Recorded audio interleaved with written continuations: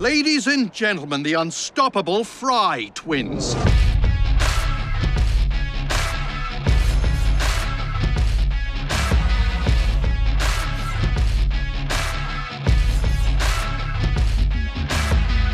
Mr. Frye, I told you to make an appointment. My schedule was open.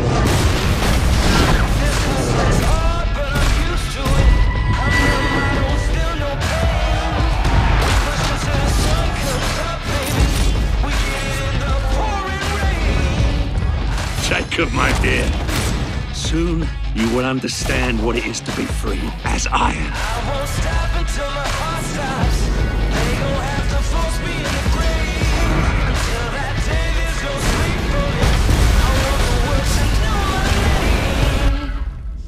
What was that explosion? What explosion? Evie?